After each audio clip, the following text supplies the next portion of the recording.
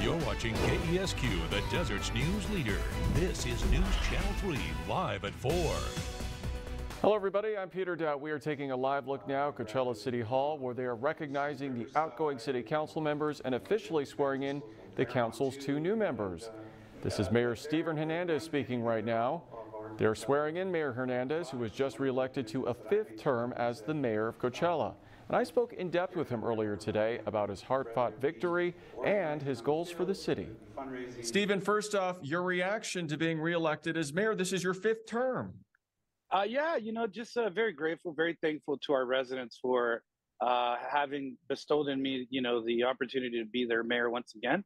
And uh, we got uh, an agenda full of things we want to accomplish in these next two years. This was a very tight race. You beat Denise Delgado by only 59 votes. Why do you think that was so tight? Well, I, I think a number of different reasons, but uh, you know, low low voter turnout. Uh, I think obviously uh, there's a congressman uh, who wanted to see somebody new. Uh, you know, I took on the the sheriff association as well, and uh, and I and I demanded more accountability from a billionaire in our town, and so you know, naturally they all kind of coalesced together and tried to take me on, but they weren't successful. Sounds like uh, a lot of controversy. Uh, well, I mean, it's it's a, it's a small town, and sometimes you know small towns have interesting politics. Well, that's true. So, uh, what are your goals now that you've been reelected? Well, I, I think for me, it's uh, three things infrastructure, economic development, and public safety. On the public safety side, I've been very vocal about the need for Coachella to bring back its own police department. Uh, that's something that I want to tackle and want to get the uh, study done and then really uh, take the moves to get that done. On the economic development side, big uh, supporter of a, a, small business development and not only bringing them in, but also trying to give them the resources to uh, be able to um, uh, sustain themselves uh, here in our city. I want to make sure that we can continue to grow that small business up front. when it comes to infrastructure, new parks, uh, new bridges, new roads. Uh, those are some of the things that I want to tackle. And then there's another that I want to add to this, and that's affordable housing.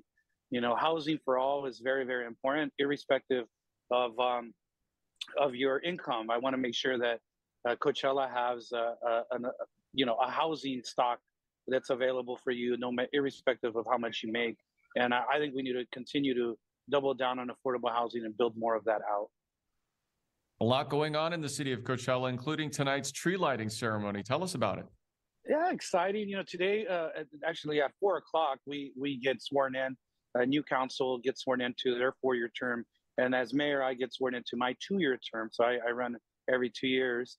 Uh, in addition, at six o'clock, we do our annual uh, tree lighting, and it's a it's a very uh, exciting event. You know, we we add a, a little cultural uh, spin to it, being that we're 98% Latino in Coachella. And so we, you know, ha- we have mariachis, we have champurrado, we have uh, tamales. It's just a really nice event uh, for our community. And so come out. Probably about three, 4,000 people show up to our tree lighting. Wonderful. Anything else, Steven, you would like the people of the Coachella Valley to know before we let you go? No, I'm really proud of the the work and all that's been going on in the city of Coachella. The city has really uh, just uh, moved in a really uh, good forward trajectory uh, whether it be housing, whether it be parks, libraries, new schools. And uh, it's going to be my job to continue that momentum to make sure that Coachella's uh, best days are ahead of it.